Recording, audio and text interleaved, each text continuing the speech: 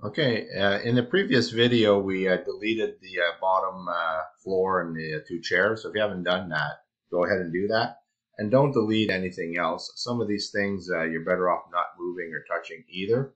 So now what we're going to do is we're going to be using the place actor panel to create a floor. Um, so let's do that. Okay, in this first video we're going to show you how to create the landscape that you'll need to basically create a scene uh, for your for your uh, game.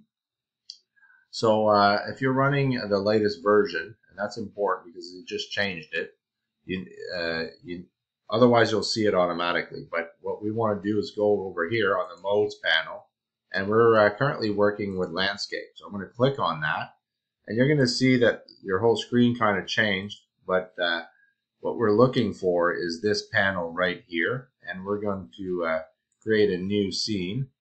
And uh, what we're going to do is the original is quite big.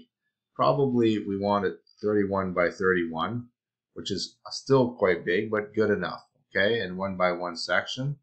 And so what we're basically doing is we're creating uh, the ground. So we had deleted that little box with the uh, two chairs. So now I'm going to click create. So it's going to create just a gray basic background.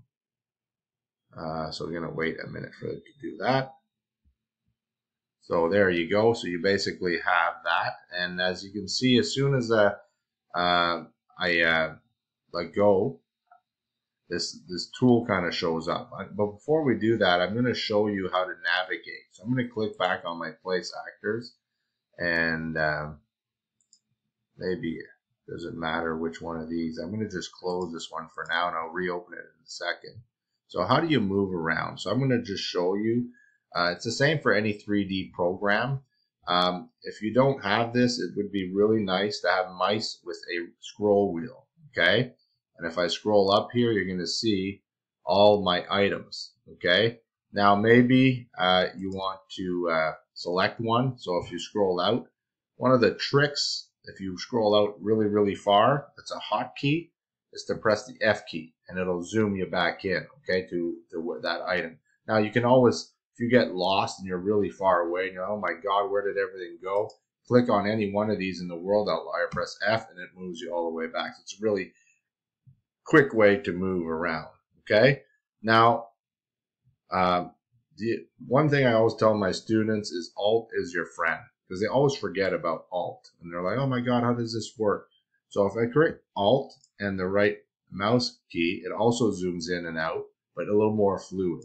But if I click the uh, left mouse key, I can rotate around and look. Okay. Now, if I'm underneath here, it means uh, I'm below, and you want to definitely be above when you're doing your work. So Alt is your friend. And if I press just the left the uh, left mouse key without the Alt key, it does this okay? And the other thing that's really useful is pressing down on the, uh, the scroll wheel. And when you do that, you can go up and down like this, okay? So those are really useful. And remember, Alt is your friend and Alt left is often one of the things that you use the most when you're creating a scene. And uh, if you just click the right mouse button, you'll see this. I encourage you to do this with your students at first. And uh, if you don't have anything selected, it still allows you to rotate around the world. And I want to remind you, don't delete these things, okay? So um, the next thing we're going to do is we're going to go back to the sculpt. So I'm going to just turn this back on, landscape. And I'm going to show you a couple more hotkeys. So to move around in your world, uh, let me just go back here. So if I click right mouse button and click the W key, I move forward. If I click the the S key and the right mouse, I move back. If I click the A key, I move uh, left, and D key, I move uh, right. If I click the Q key, I'm going to move down. If I click the E key, I'm going to move up. Now you're going to say, wow, it moves fast on these. Why is it not moving fast on mine? It's over here.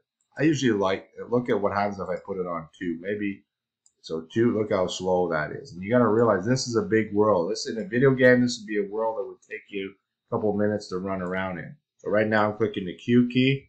If I click the W key, you're going to see it move forward. Clicking the right mouse button, by the way. Sorry, uh, left mouse button, left mouse button, left mouse button. And one of the things that we're going to do to prepare for the next video is I'm going to use uh, Alt and Rotate. And I'm going to now, I'm going to go back to my 4. I prefer 4. Okay, if you don't have the right speed here, that's this is what that is. And I'm going to use the E key. And I'm going to scroll all the way out. So what I want to do now is I'm going to I'm going to do a couple things. But for now, I just want to see this whirl from all the way at the top and alt and, and you can see it. You want to kind of see the whole thing if you can, all right? So let's start with that. And something important we haven't done yet is saving our world. Okay, so you're going to see this is really important. There's save current, which is fine, but normally that's not everything. So you need to do save current and save all. Okay, if you don't do both, you will lose stuff. Okay, I'll try to repeat this several times. So save current, save all. Now I just want you to know um, that I didn't create a new level because we're just using the basic level that's already included in the starter content. And I'll just show you where it is. So we click on starter content on maps. The one that we're using is minimum default. Okay. Now you could rename this if you want, uh, if you're kind of new and you, you can call it main default. It's, it's kind of obvious. Okay. I, I would not rename it, but if you if you want to, you could. Okay. So I'll stop the video there and we'll continue with the next part. If you have any questions, please let me.